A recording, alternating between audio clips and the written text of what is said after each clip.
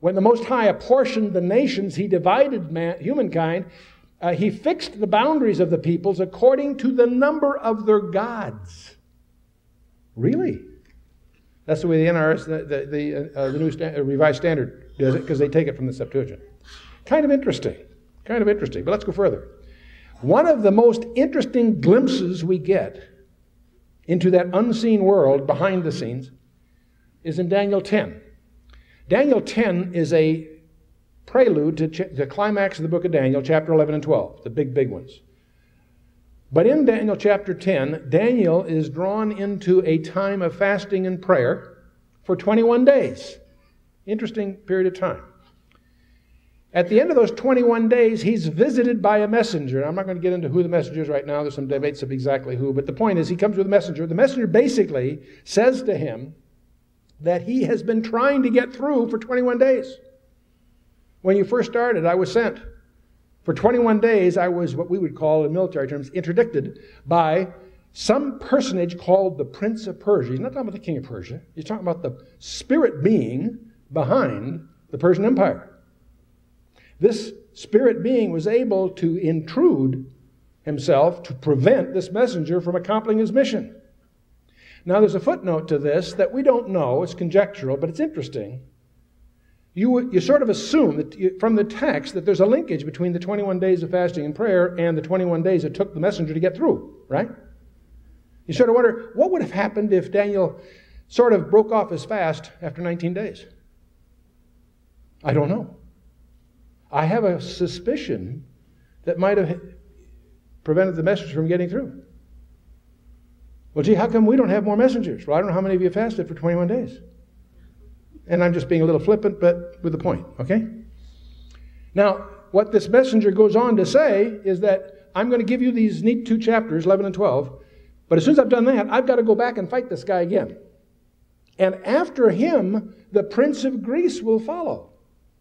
So there's apparently another spirit being that's behind the Greek Empire. What makes that kind of provocative, the Greek Empire surfaces in history 200 years after Cyrus and the Persians and all that.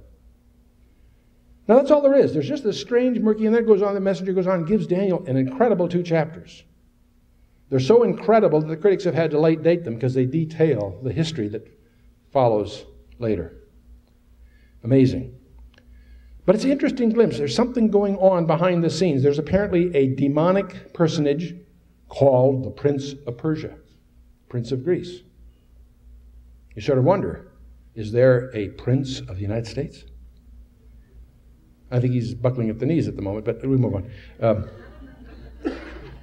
now, I want to take this to the personal level. There's another insight that's classic from the Old Testament that I thought would be kind of fun just to take a look at, and that's in 2 Kings 6.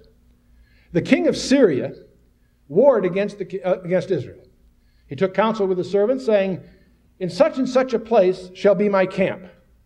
So the king of Syria is saying this in the privacy of his military councils, right? And the man of God, who incidentally is Elisha, sent unto the king of Israel, his buddy, of course, saying, Beware that thou pass not such a place, for thither the Syrians are come down.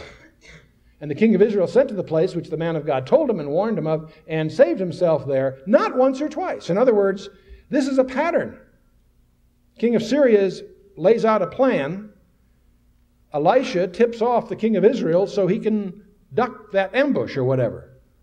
Not just once or twice, it was a pattern, and obviously the king of Syria is upset Therefore, the heart of the king of Syria was sore troubled for this thing, for he called his servants and said unto them, Will ye not show me which of us is for the king of Israel? In other words, who's the mole?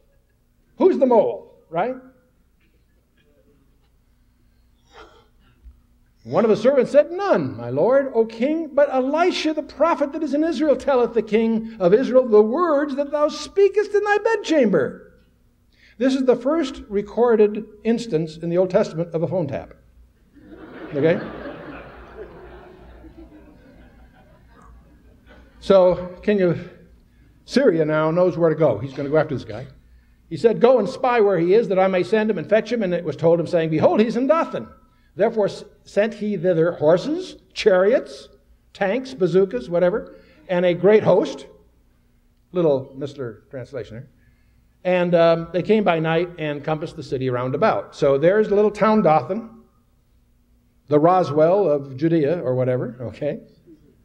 And uh, it's surrounded now by the Syrian army. Okay? Now, let's take a look at the physical situation. When the servant of the man of God was risen in the morning, early, gone forth, behold, the host compassed the city both with horses and chariots. And his servant said unto him, Alas, my master, how shall we do? He's panicked. He looks out in the morning and, you know, there they are. Now, this is the spiritual assessment. Elisha says to his servant, Don't sweat it, Ace. No, he says, Fear not, for they that be with us are more than they that be with them. Now, I don't know what went through the servant's mind. You know, I suspect he thought, gee, that sounds like a platitude out of one of your sermons. Hey, fella, I can hear their engines running out there. They're revving up their engines. They're out there, boss. That's sort of the way I visualize this. He's, he hears the, well, you know, we're spiritually okay, but come on, there they are, right? Elisha gets the picture. Elisha prays. And you can almost hear his almost disdain or, or, or uh, frustration with his servant. He says, Lord, I pray thee, open his eyes that he may see. Simple little prayer. And the Lord opened the eyes of the young man, and he saw, and what did he see? As he looked out there, of course, he saw all the Syrian armament. But he also saw the mountain was full of horses and chariots of fire surrounding Elisha. That's not a cliche. That's not a religious platitude inserted by some scribe.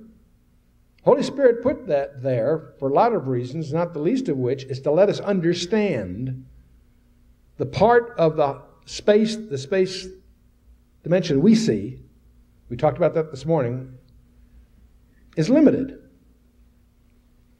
The um, in the 12th century concluded from Genesis 1 that we live in 10 dimensions. Four are directly knowable, six are not knowable directly. That's his parlance out of the text of Genesis 1.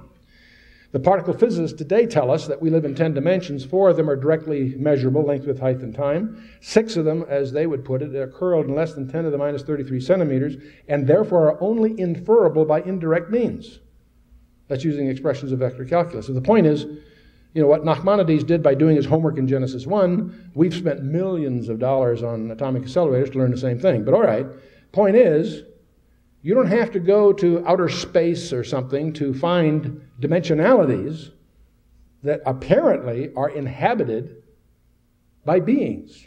And I'm not assuming that the angels are outside the time domain. God is, they, aren't, they, they ain't. Okay? And I don't know how many of you had your first grade teachers scold you about using the word ain't. It's a perfectly good Jewish word. Did you know that ain is a verb in the Hebrew? I wish I'd known that when I was in grammar school. But anyway. so, what is our threat assessment? Paul tells us we wrestle not against flesh and blood, but against principalities, against powers, against the rulers of darkness of this world. Democratic National Party. No, I'm sorry. Uh, whoa, whoa, yes, I'm sorry. Uh, I'm sorry, I didn't really mean to do that. Whitewater's not over till the First Lady sings. I understand.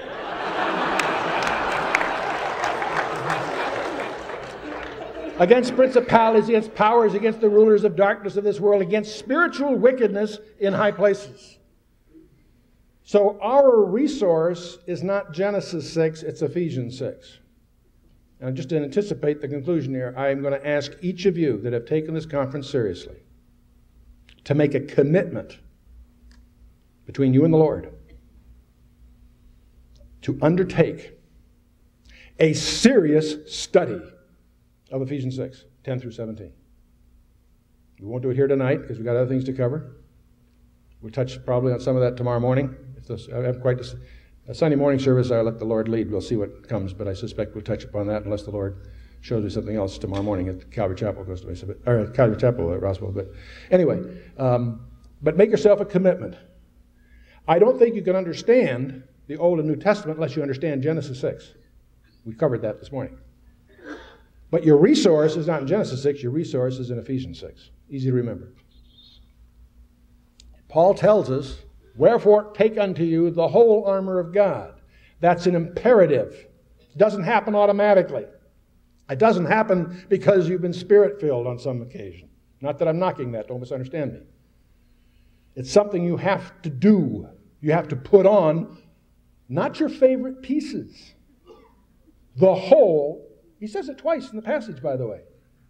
Put on the whole armor of God. When do you do that? During the battle? Before the battle. By the way, you're already on enemy turf, so think about it. Put on the whole armor of God. There are seven elements.